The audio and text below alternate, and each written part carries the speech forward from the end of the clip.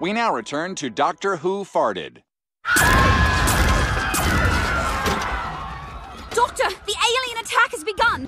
Man, hyperspace always looks so freaky.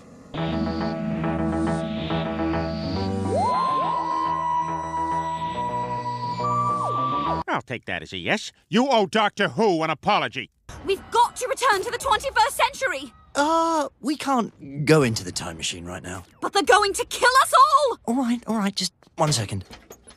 Look, Lois, ever since marijuana was legalized, crime has gone down, productivity is up, and ratings for Doctor Who are through the roof.